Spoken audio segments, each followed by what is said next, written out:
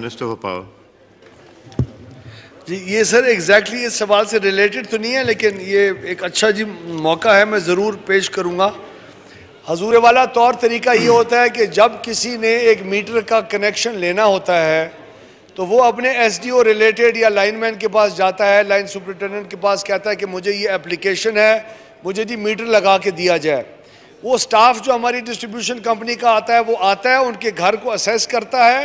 اور دیکھتا ہے کہ اس گھر کے اندر لوڈ کی کپیسٹی کیا ہے۔ وہ لوڈ کی کپیسٹی کی بیسس کے اوپر اس کے میٹر کی کاسٹ پڑتی ہے اس کو، جو کہ کسٹمر کو پے کرنی پڑتی ہے ہمارے ادارے کو۔ کسٹمر اور ہمارا ادارہ دونوں مل کے اگر پانچ کلو واٹ کا لوڈ لوڈ فرض کریں میرے گھر کا ہونا چاہیے، میرے گھر کے سائز کے مطابق میں اس کے ساتھ ملی بھگت کرتا ہوں، میں کہتا ہوں، بھائی صاحب، پانچ کلو واٹ کا مت، میرے گھر کا دو کلو واٹ کا لوڈ تم برائے مہربانی نوٹ کرو۔ ہمارا جو محکمہ ہے، اس کے ایس ڈی او صاحبان اور لائن سپرنٹینڈنٹ صاحبان اپنی جیب گرم کرنے کے لیے اور کسٹمر اپنی جیب کا جی فائدہ کرنے کے لیے کہتا ہے کہ میرا ہے تو پانچ، تم دو لکھو نا، مہربانی کرو تاکہ مجھے انیشل جو ڈیمانڈ جی نوٹس ہے، وہ کم بھرنا پڑے۔ یہ کانسٹنٹلی یہ ریکارڈ کے اوپر آپ کا لوڈ اتنا ہوتا ہے اور ٹرانسفارمرز آپ کے اوور ہیٹ اور اوور لوڈ ہوتے ہیں۔ یہ بہت بڑا ہمارے اس سسٹم کے اندر ایک نقص ہے اور اس نقص کو ان ڈسٹریبیوشن کمپنیز کے اندر مستقل ریفارم ایک دو سال کر کے اور اس کو بہتری کی طرف لے کے آنا ہمارے لیے ایک بہت بڑا چیلنج ہے۔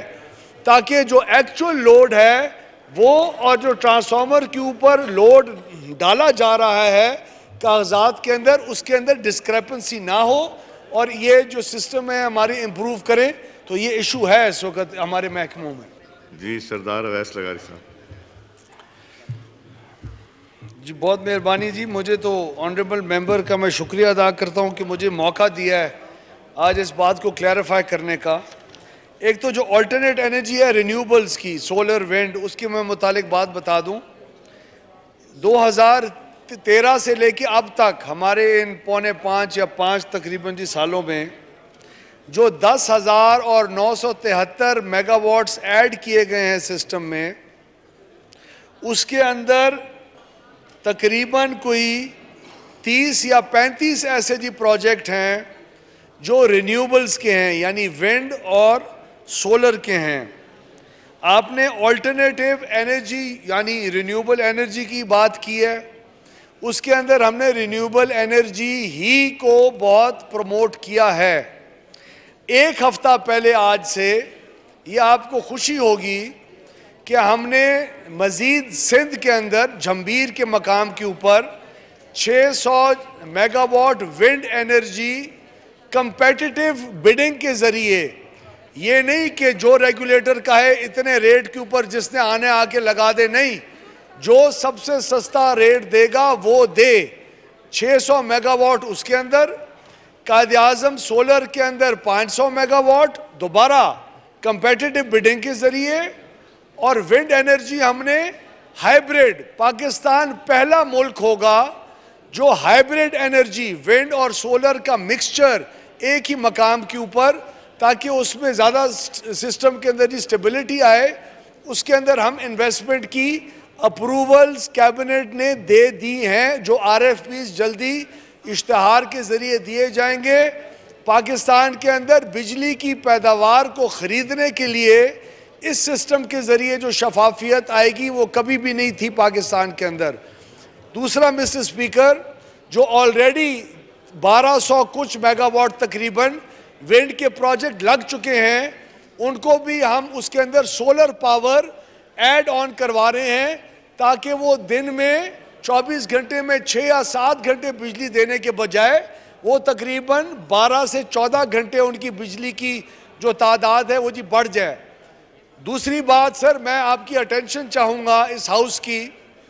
پچھلے چند دنوں سے پاکستان کے الیکٹرانک میڈیا کے کچھ حصے میں ایک پروپیگنڈا کیا جا رہا ہے کہ بجلی کی لوڈ شیڈنگ بڑھ گئی ہے اس کا جی دورانیہ۔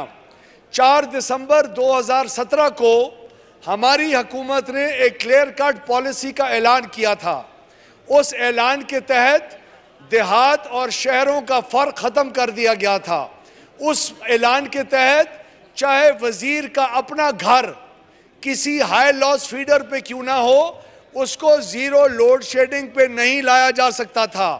اس اعلان کے تحت پاکستان کے ساڑھے آٹھ ہزار فیڈر جو اس وقت کل تعداد ہے، اس میں سے پانچ ہزار تین سو فیڈر جس کے اندر نقصان کا حجم دس فیصد سے کم ہے، اس کو ہم نے زیرو لوڈ شیڈنگ کا اعلان کیا تھا۔